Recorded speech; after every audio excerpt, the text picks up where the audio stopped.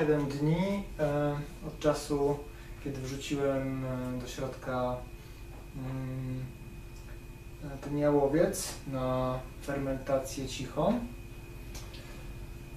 No i czas na butelkowanie. Myślę, że już dłużej, dłużej nie będę tego, tego trzymał.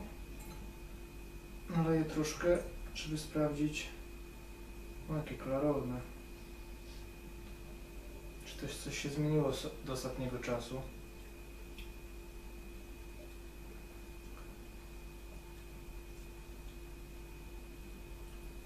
Wydaje mi się, że trochę bardziej czuć ten jałowiec, ale to nie jest jakoś tak strasznie intensywnie.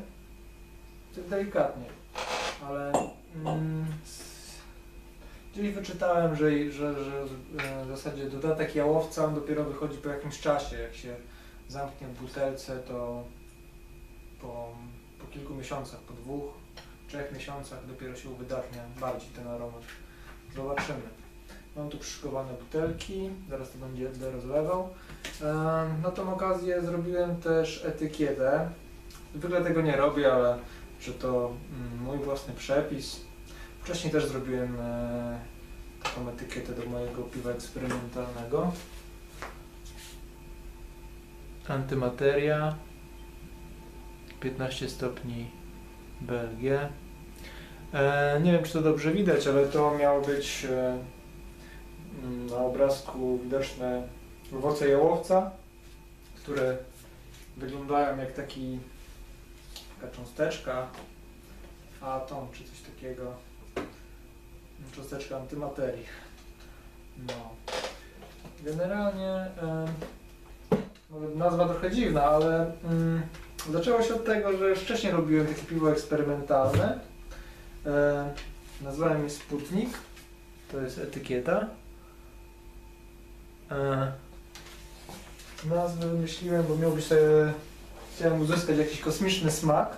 Tu mam nawet ten przepis. E, tutaj był między innymi chmiele takie jak Columbus, e, Cascade. Też Cascade był dodany wtedy na, na fermentację cichą, na na zimno.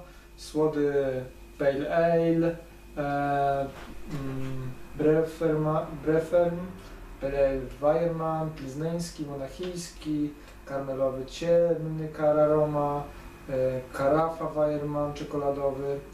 Mm, Płatki owsiane też były i starte skórki z pomarańczy, z jednej cytryny i limonki. Także taki no, niezły eksperyment.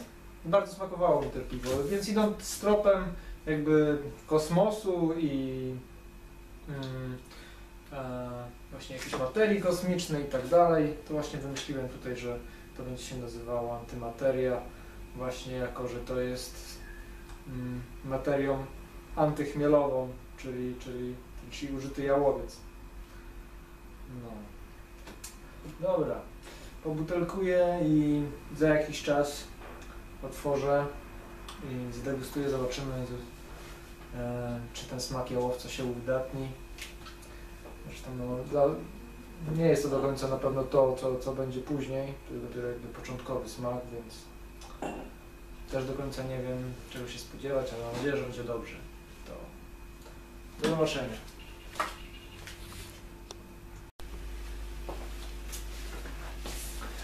Nadszedł ten dzień, w którym dokonam porównania e, mojego piwa eksperymen- eksperymentalnego na bazie jałowca z piwem Pinty Koniec Świata. Mm, Mówię, to nie są, e, tak jak mówiłem wcześniej, to nie są dokładnie te same style, ale obydwa jakby bazują w jakiś sposób na jałowcu i sprawdzę, czy na, na ile w ogóle w jednym i w drugim e, jest, jest się w stanie wyczuć ten jałowiec. Poza tym, co mogę powiedzieć, byłem z tym piwem e, na spotkaniu piwowarów domowych e, we Wrocławiu i mm, część osób próbowała, właściwie to chyba każdy mam nadzieję, że spróbował wtedy tego piwa. E, nie każdy był w stanie wyczuć jałowiec, co niektórzy, niektórzy w ogóle nie kojarzyli, jakie aromaty z tym jałowcem są związane. No to jest bardzo, bardzo specyficzny aromat. Mm. Niektórzy znali, ale nie wyczuwali, inni, inni jakieś tam lekkie posmaki odczuwali. Także też nie wiem. Też już nie było na pewno pierwsze piwo, które mm, każdy próbował, więc to też, też nie było jakby na świeżo, to też inaczej. Teraz właśnie jakby na świeżo y, spróbuję porównać. Mm, Poza tym kilku moich znajomych próbowało i myślę, że ze- mi mówił, że właśnie smakowało bardzo. E, dobra, no to otwieramy. Najpierw zacznę od antymaterii. No, nie jest przygotowana na szczęście.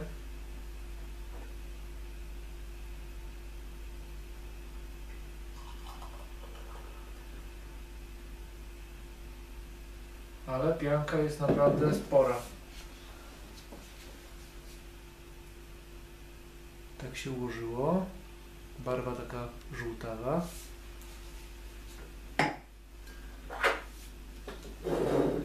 Teraz pinta, koniec świata. Tylko zdecydowanie mniej. Podejrzewam, że będzie mniejsza piana.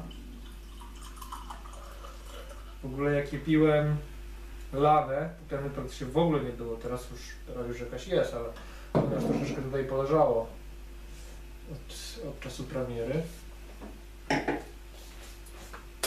To jest pinty, koniec świata. Kolory mają zbliżone, tylko że moje jest, jest trochę jaśniejsze i bardziej mętne. Zresztą pokażemy. To jest antymateria. To jest koniec świata.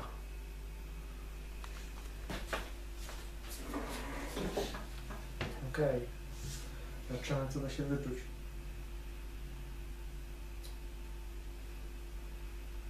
Jakieś na pewno aromaty bananowe.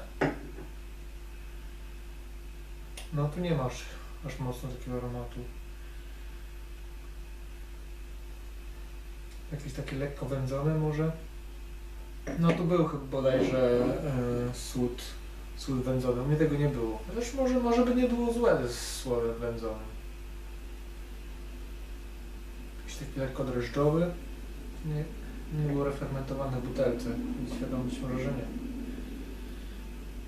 Niewiele w ogóle tutaj w końcu świata. A jak smak?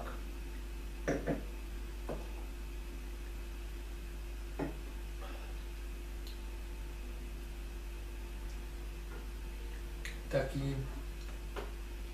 mm, jest jakby taka może nie do końca goryczka,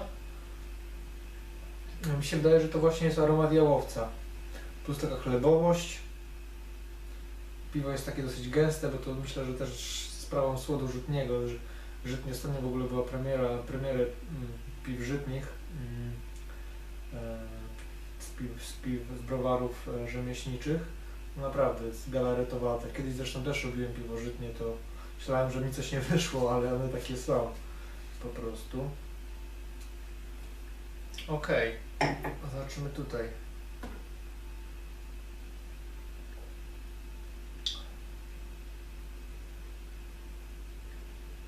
Jest chyba też coś podobnego. To jest bardziej słodkie. Koniec świata pinty. Taka większa słodowość. Nie czuję w ogóle tego mm, typowego smaku dla, dla piw pszenicznych. Nie wiem, czy to była w ogóle pszenica dodawana? Wydaje mi się, że coś takiego było, albo pszenica, albo żyto. Był ży, tak, żytni był. Pszenicy nie było.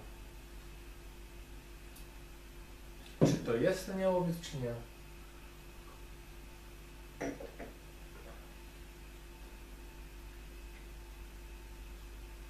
Jest coś chyba podobnego.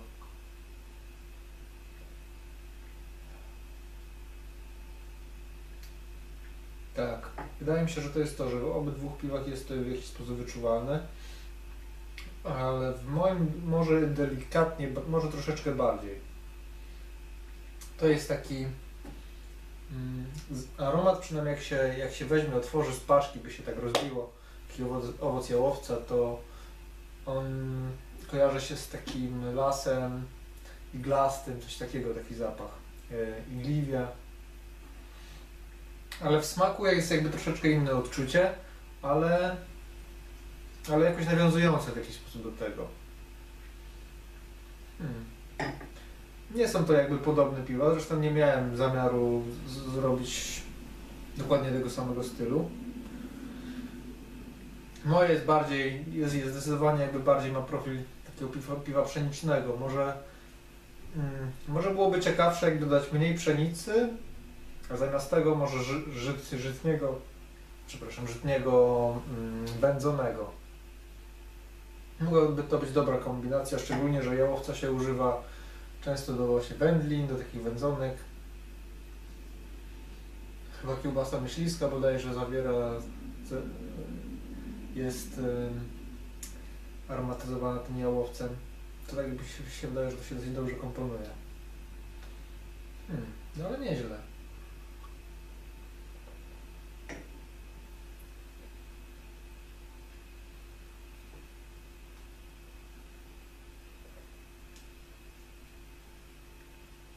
Fajnie, czuć to, ale mogłoby nawet, mogłoby nawet być z tego więcej. Ale, ale myślę, że jestem zadowolony. Także e, życzę powodzenia mm, w eksperymentach mm, piwowarskich. E, Sam mam jeszcze jakby kilka eksperymentów, jedno jest w trakcie, mm, ale tego może tego nie pokazywałem, nie, nie, nie kręciłem tego procesu, bo to jest w zasadzie podobne, ale może, może opowiem o tym innym razem. Także mm, zdrowie i mm, powodzenia dla wszy- wszystkich piwowarów domowych, powodzenia w eksperymentach piwowarskich. Trzymajcie się.